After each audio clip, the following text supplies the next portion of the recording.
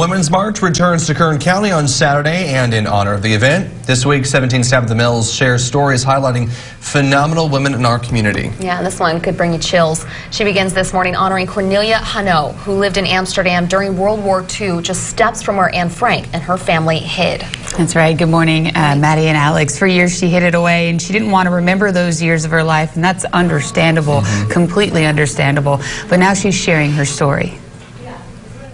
I was born in Amsterdam um, in 1923 on April the 30th. Cornelia Margarita Hanou, or Connie as she's called, was born in Amsterdam. She was 17 when World War II broke out. I never wanted to talk about it. A long time after the war. And then I thought maybe it should be told. When Germany occupied the Netherlands, Connie felt a great responsibility. I was old for my age, daring. I did not, uh, I wasn't afraid. I wanted to do everything to get my family through the war. Even if it meant bending her morals. You don't think of the consequences. I was a different person then. I had to be hard without gas, electricity, and food.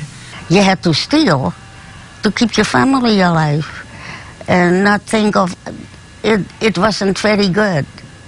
Daily, she would say, We make it. We make it. The Lord is with us.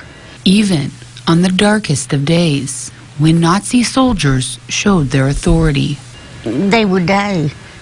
They, I, I saw them die. Connie says she and her family were cautious, but not afraid.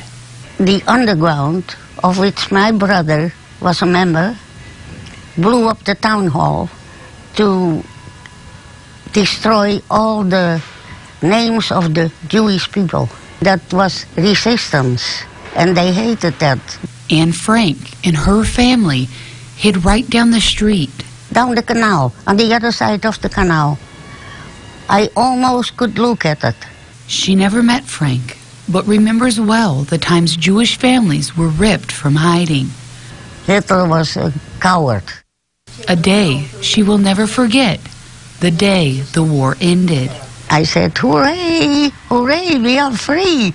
Her teenage years, not spent with her friends at the soda shop or at the movies with a boy.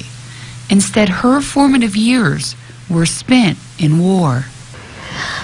But you had to go through it. Yeah. But we made it. We made it. And recently, a fire took the only thing that Connie kept all of these years that reminded her of the war, a positive moment in the war, if you will. When Canadian soldiers came in uh, to free Amsterdam, they handed out cigarettes and candy bars, and she kept the wrappers to those for all these years. And it's something that may seem insignificant to us, but it was really important to her. Yeah, oh, absolutely, sure. yeah. Mm -hmm. Wow, what an amazing Incredible story. story. Thanks, Tab. Mm -hmm. well,